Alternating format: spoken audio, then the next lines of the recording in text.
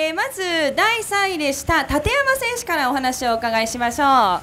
えー、今シーズン初のこの第5戦で表彰台ということになると思うんですがおめでとうございます。ありがとうございます。えー、まずこの第3位に入りました表彰台を初めて獲得した率直なお気持ちをお聞かせください。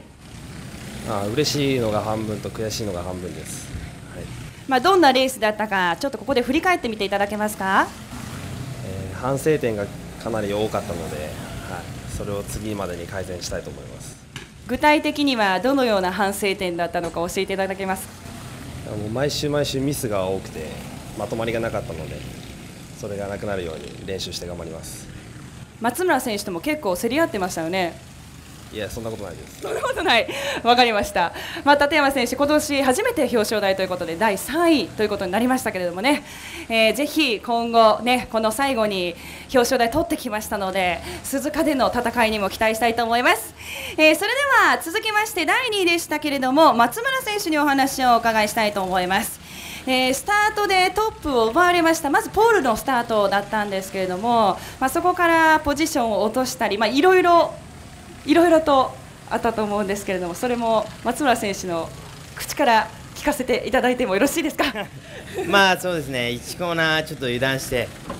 ちょっとあの油断してたんでそこにパッて来られてまあ、そこからちょっと挽回しようと思ったんですけど、まあ、抜きにかかる時もミスしちゃって、まあ、そこら辺、まあ、ちょっとうまくまとめられなかったのがちょっと悔しいですね。はい。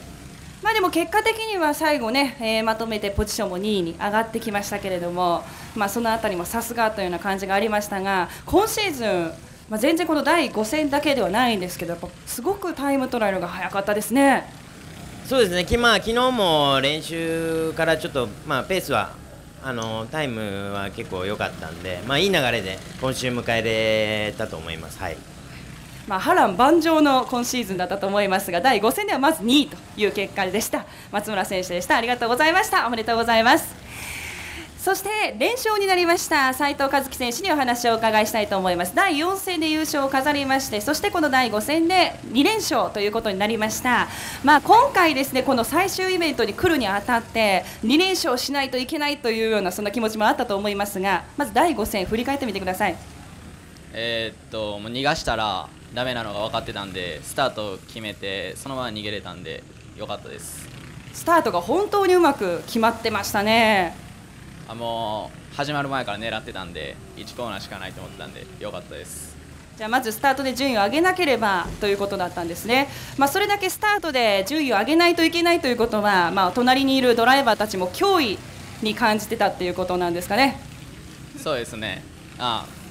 あの絶対勝つっていう気持ちが強かったんで勝てました。